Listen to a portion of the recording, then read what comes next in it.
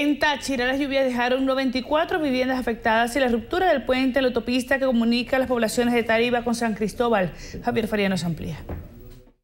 Autoridades militares y de protección civil evaluaron el desplome de viviendas en el municipio Lobatera, donde algunas familias ya fueron reubicadas en refugios. La causa de la emergencia fue la saturación del suelo debido a las lluvias. En Lobatera tenemos 18 familias danificadas, son 18 viviendas que colapsaron, un total de 71 personas.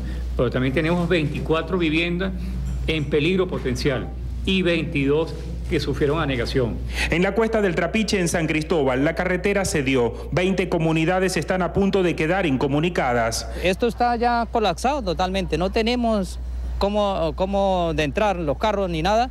Ahora sí van a, ver si toman en cuenta esta cuestión, porque no puede seguir así. Con las lluvias. Mucha lluvia, demasiado. En la carretera trasandina, la crecida de la quebrada La Guacharaca también generó daños en el paso entre La Grita y el Estado Mérida. En Táchira, Javier Faría, Noticiero Venevisión.